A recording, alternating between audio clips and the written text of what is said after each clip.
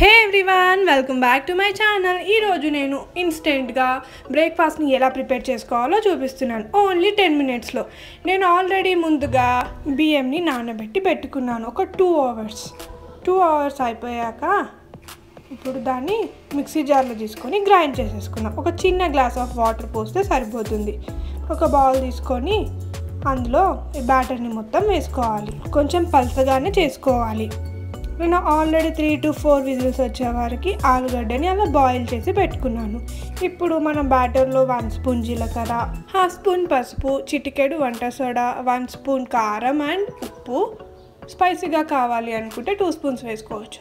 And చిటికెడు చక్కెర వేసాను టేస్ట్ కోసం. పొటాటోస్ని అలా పొట్టి తీసుకొని మొత్తం స్మాష్ చేసుకొని వన్ కప్ వేసుకున్నాను. One cup onions one cup tomatoes half cup కొత్తిమీర. అన్నిటినీ వేసేసుకున్నాను కదా. ఇప్పుడు మంచిగా ఒక స్పూన్ తీసుకొని మొత్తంగా ఒకసారి అలా కలిపేసుకోవాలి. ఆలూస్ ఏవైతే మనం వేసుకున్నామో ఇంకొంచెం ఇంకా మొత్తంగా స్మాష్ చేయకుండా గట్టి గట్టిగా ఉంటే స్పూన్తో అలా స్మాష్ చేసుకుంటూ కలిపేసుకోవచ్చు. చూస్తున్నారు కదా బ్యాటర్ రెడీ అయిపోయింది. ఇది ప్రాసెస్ ఒక టెన్ మినిట్స్లో అయిపోతుంది. కాకపోతే టూ అవర్స్ ముందు ఒక బియ్యంని నానబెట్టుకోవాలి. మిగతా ప్రాసెస్ అంతా టెన్ మినిట్స్లో అయిపోతుంది. ఇప్పుడు స్టవ్ ఆన్ చేసి పెనం పెట్టుకొని three to four spoons of ఆయిల్ని వేసుకోవాలి.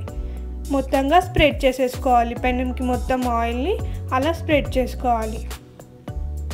ఒక టూ త్రీ మినిట్స్ అయిపోయాక ఆయిల్ హీట్ ఎక్కిందో లేదో చెక్ చేసుకొని ఆయిల్ హీట్ ఎక్కిపోయాక మనం రెడీ చేసుకున్న పెట్టుకున్న బ్యాటర్ని ఒక టూ స్పూన్స్ అలా వేసుకొని జస్ట్ ఈవెన్గా స్ప్రెడ్ చేసుకోవాలి.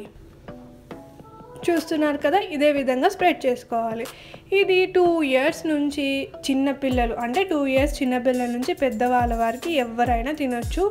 చాలా బాగుంటుంది. మార్నింగ్ టైంలో కూడా హడావిడి కాకుండా ఈజీగా అయిపోతుంది ఈ టిఫిన్. సో చూస్తున్నారు కదా సైడ్స్ కింద కలర్ చేంజ్ అయిపోయింది. జస్ట్ ఇది ఫ్లిప్ చేసుకోవాలి. వావ్ నైస్ కలర్ వచ్చింది కదా. టూ సైడ్స్ కూడా సేమ్గా కలర్ రావాలి. ఐ మీన్ సేమ్గా కాల్చుకోవాలి టూ సైడ్స్ ఉప్స్ చెప్పడం మర్చిపోయిన టూ బిగ్ సైజ్ గ్లాసెస్తో బియ్యంని నానబెట్టాను. మళ్ళీ ఒకసారి బ్యాక్ ఫ్లిప్ చేసుకుందాం. వావ్ ఈవెన్గా టూ సైడ్స్ మంచిగా వేగిపోయింది కదా.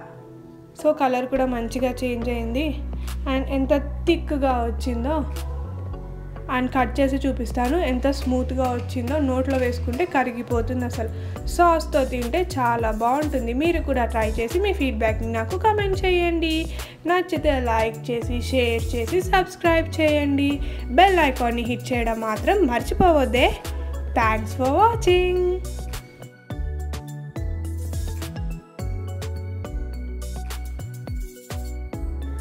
bye